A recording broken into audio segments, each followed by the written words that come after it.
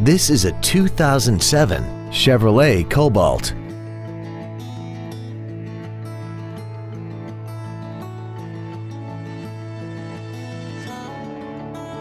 Features include air conditioning, a split folding rear seat, a rear window defroster, a CD player, a passenger side vanity mirror, latch-ready child seat anchors, and an auxiliary power outlet.